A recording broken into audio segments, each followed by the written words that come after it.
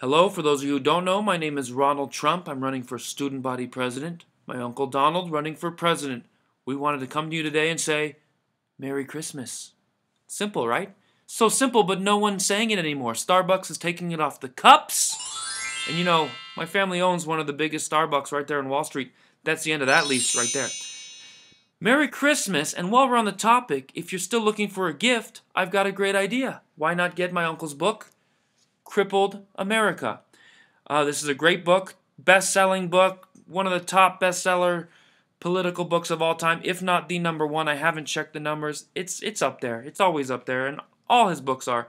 It's a it's a thin book, which is what I love, and the price is right. Thirteen dollars and fifty nine cents. Pick it up at any bookstore, online, or Costco. I mean, if you ask me, it could add a few more zeros. It'd still be worth it. But you know, thirteen hundred dollars. Some people can't afford that. I can.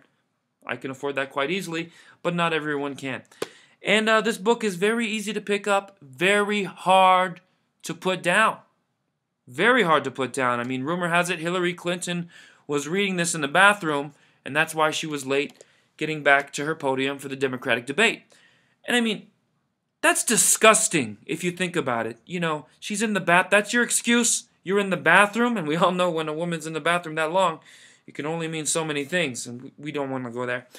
Um, is this what our leadership has come to? Ladies and gentlemen, you're going to put her in office? Putin's on the phone. She's like, hold on, I'm on the toilet. Let me call you back. No. You need an honest person. And who could be more honest than my uncle? You know, he had thousands of better pictures he could have used.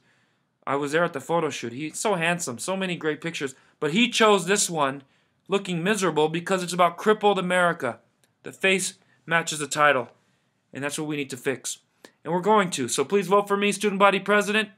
Vote for my uncle for president. Pick up the book and let's make America great again 2016 and let's all start saying Merry Christmas again. Merry Christmas. This is by far, without a doubt, the best book I have ever read, and I'm still on the table of contents.